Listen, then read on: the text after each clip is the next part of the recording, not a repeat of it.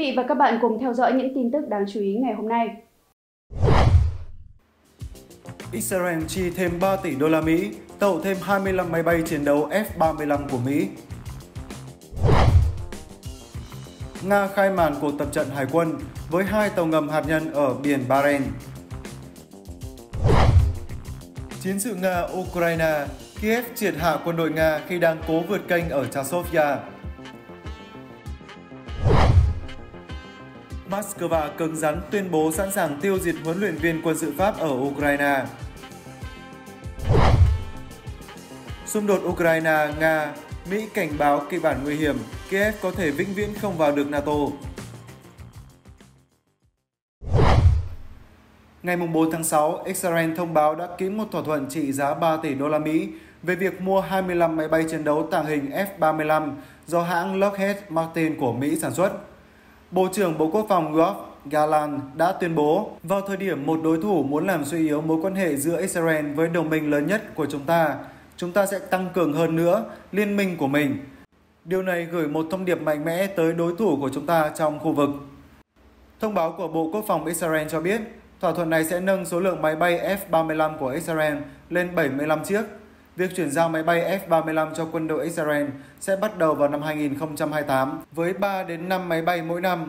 Israel là quốc gia Trung Đông duy nhất sở hữu F-35, loại máy bay chiến đấu tiên tiến nhất thế giới có khả năng tàng hình và có thể sử dụng để thu thập thông tin tình báo, tấn công vào sâu bên trong lãnh thổ của đối phương. Hạm đội phương Bắc của Nga đã bắt đầu các cuộc tập trận với sự tham gia của hai tàu chống ngầm cỡ lớn và hai tàu ngầm chạy bằng năng lượng hạt nhân ở biển Bahrain.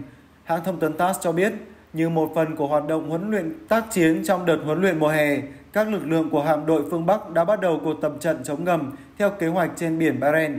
Các tàu chống ngầm cỡ lớn Đô đốc Levchenko và chuẩn Đô đốc Kulakov đã rời căn cứ chính của hạm đội phương Bắc ở Severomor đến các khu vực được chỉ định như một phần của nhóm tìm kiếm và tấn công hải quân.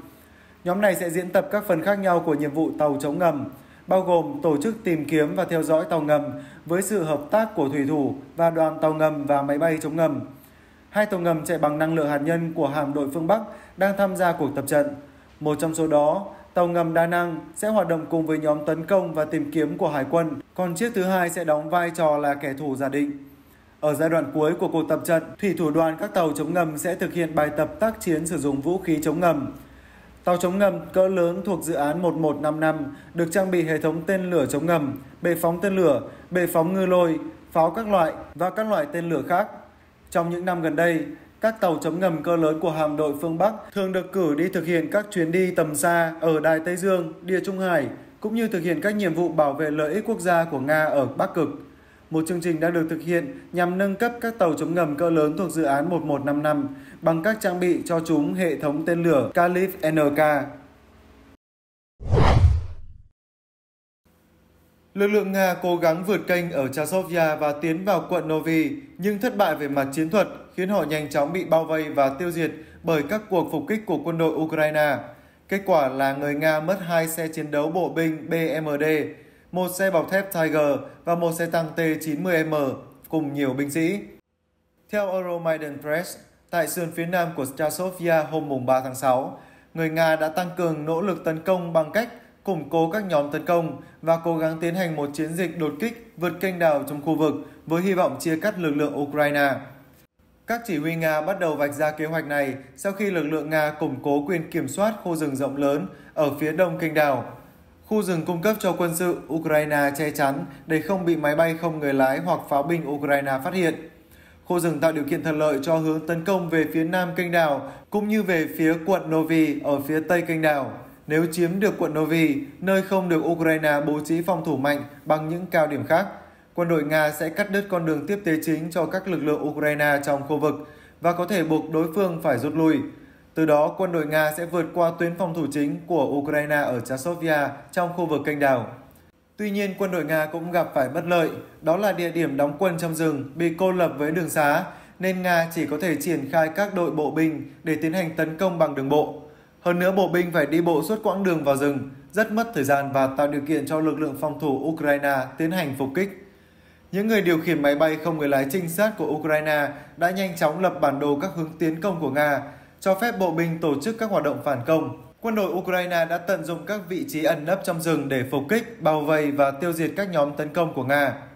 Các chiến binh Ukraine trong khu vực báo cáo rằng các nhóm tấn công của Nga chỉ tồn tại được 30 phút sau khi vượt qua phía bên kia kênh đào trước khi bị tiêu diệt. Các blogger quân sự của Nga sau đó cũng xác nhận rằng mọi nỗ lực của Nga nhằm chọc thủng tuyến phòng thủ của Ukraine gần quận Novi đều không thành công. Cuối cùng, quân đội Nga đã phải từ bỏ nỗ lực vượt kênh đảo từ phía Tây qua quận Novi. Họ tiến hành các cuộc tấn công mới từ phía nam kênh đảo. Tuy nhiên, hướng tấn công này khiến quân đội Nga phải vượt qua một bãi đất trống rộng lớn nên các đơn vị Nga bị tổn thất nặng nề về nhân lực và trang thiết bị. Những người điều khiển máy bay không người lái Ukraine đã tiêu diệt được hai chiếc BMD-3, một xe chiến đấu bộ binh BMD-4, một xe bọc thép và một xe tăng T-90M của Nga. Nhìn chung, theo Euromaidan Press, các lực lượng Nga đã tiến hành một chiến dịch vượt kênh ở Chasovia thảm khốc do họ nôn nóng tiến công bất chấp bối cảnh không thuận lợi và các điều kiện để tiến hành một cuộc tấn công như vậy chưa đủ chín muồi. Trước đó, hai hệ thống phòng thủ tên lửa phòng không 4 nòng S-300 và S-400 đã bị tiêu diệt cùng với thiệt hại đáng kể đối với một bệ phóng phòng không S-300 S-400. Ngoài ra, hệ thống radar 96L6E và trạm điều khiển hệ thống phòng không S-300 400 cũng đã bị phá hủy. Thứ ba ngày 4 tháng 6, Nga đã đưa ra lời đe dọa đanh thép mới nhằm đáp trả những thông tin cho rằng Pháp có thể sớm cử các huấn luyện viên tới giúp đỡ quân đội Ukraine. Người phát ngôn Điện Kremlin Dmitry Peskov tuyên bố với báo chí và được hãng tin AFP của Pháp đưa tin không có huấn luyện viên nào tham gia huấn luyện quân đội Ukraine có quyền miễn trừ. Việc họ có phải là người Pháp hay không không quan trọng. Tuần trước, chỉ huy hàng đầu Ukraine, Đại tướng Oleksandr Sinsky đã cho biết các huấn luyện viên người Pháp sẽ sớm đến Ukraine, nhưng vào thời điểm đó tuyên bố này đã bị Paris phủ nhận. Le Monde đưa tin Tổng thống Pháp Emmanuel Macron, người sẽ gặp Tổng thống Ukraine Volodymyr Zelensky trong tuần này, nhân lễ kỷ niệm 80 năm cuộc đổ bộ D-Day ở Pháp, có thể sớm công bố một liên minh nhỏ bao gồm các quốc gia sẵn sàng cử huấn luyện viên đến Ukraine. Nga đã nhiều lần lên tiếng cảnh báo phương Tây về việc gửi quân đội hoặc huấn luyện viên tới Ukraine. Tổng thống Nga Vladimir Putin tuần trước đã cho biết trên thực tế đã có các huấn luyện viên nước ngoài ở Ukraine dưới vỏ bọc là lính nước ngoài. Trong khi đó, hãng thông tấn nhà nước TASS dẫn lời người phát ngôn Bộ Ngoại giao Maria Zakharova rằng Moscow đã xác nhận thông tin rằng Pháp đang chuẩn bị gửi quân tới Ukraine, ám chỉ các huấn luyện viên. Trước đó, hồi tháng 5, Tổng thống Pháp Emmanuel Macron đã cho biết nước này có thể triển khai binh sĩ đến Ukraine nếu lực lượng Nga vượt qua phòng tuyến và Kiev đề nghị giúp đỡ. Bộ Ngoại giao Nga ngày 5 tháng 5 trước đó đã thông báo triệu tập đại sứ Pháp Pierre Levy vì những tuyên bố ngày càng hiếu chiến của giới lãnh đạo Pháp và thông tin nước này ngày càng tham dự vào cuộc xung đột tại Ukraine. Thông cáo có đoạn, nỗ lực của Pháp nhằm gây ra một số bất ổn chiến lược cho Nga thông qua tuyên bố vô trách nhiệm về cử binh sĩ phương Tây tới Ukraine sẽ thất bại. Nga sẽ đạt được mục đích và mục tiêu của chiến dịch quân sự đặc biệt.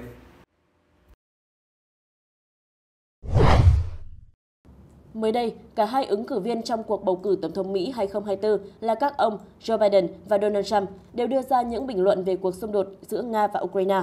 Ngày 4 tháng 6, trong cuộc phỏng vấn với báo Time, Tổng thống Mỹ Joe Biden nói, nếu các nước phương Tây để Ukraine bị đánh bại trong cuộc xung đột, tất cả các nước giáp biên giới thực tế với Nga sẽ thất thủ. Theo ông chủ Nhà Trắng, Ukraine có thể không bao giờ trở thành quốc gia thành viên NATO, Song, ngay cả trong trường hợp này, Washington sẽ tiếp tục cung cấp vũ khí và thiết bị quân sự cho các lực lượng vũ trang Ukraine. Nhà lãnh đạo lưu ý, Mỹ có mối quan hệ với Ukraine tương tự với các nước khác mà Washington cung cấp hỗ trợ quân sự. Trong khi đó, ứng cử viên Tổng thống Mỹ Donald Trump cho rằng Tổng thống Nga Vladimir Putin đang giành chiến thắng trong cuộc xung đột ở Ukraine, trong khi các nước phương Tây đang ở thế yếu. Kênh truyền hình Fox News dẫn lời ông Trump nhận định truyền thông phương Tây đã ngừng nói về chiến thắng của Kiev sau cuộc phản công không thành công của các lực lượng vũ trang Ukraine. Vị tỷ phú cũng nhắc lại tình trạng thiếu nhân sự trong quân đội quốc gia Đông Âu. Nội dung vừa rồi cũng đã kết thúc bản tin của báo Việt Nam Net. Xin chào và hẹn gặp lại!